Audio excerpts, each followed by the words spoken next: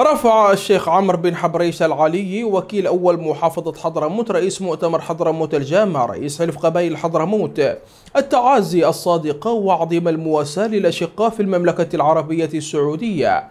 وإلى القيادة المشتركة لقوات التحالف العربي بحضرموت باستشهاد ضابطين وإصابة آخر ضمن قوات الواجب بمدينة سيون وأدان الشيخ بن حبريش هذا الاستهداف الإجرامي الغادر والتي ينبذها ويرفضها المجتمع الحضرمي قاطبة موجها الجهات المختصة العسكرية والأمنية في الوادي والصحراء بتتبع الجناه وإلقاء القبض عليهم. وتقديمهم للعدالة لينالوا جزاءهم الرادع.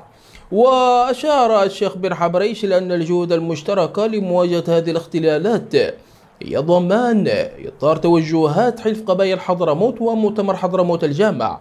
وقال بن حبريش لن نقبل بأن يصاب أي شخص على أرض حضرموت. ونرفض أن تكون حضرموت محل تصفية للصراعات.